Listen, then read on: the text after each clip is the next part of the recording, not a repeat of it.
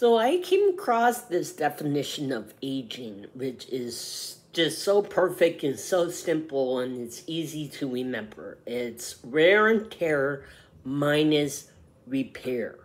And it's just so amazing and so simple.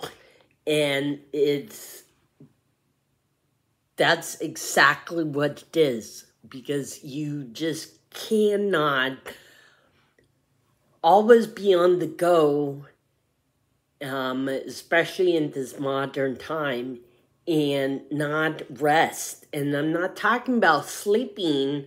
I mean, yeah, you definitely want your sleep hygiene to be really, really good. But also during the day, it's okay if you want to rest. It's okay if you don't want to always be productive because, you know, we attach productivity to worth, to our self worth, which I think is really, really bad and it creates a lot of problems.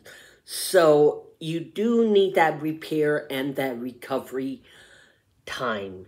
So, wear and tear minus repair. Aging. I love it.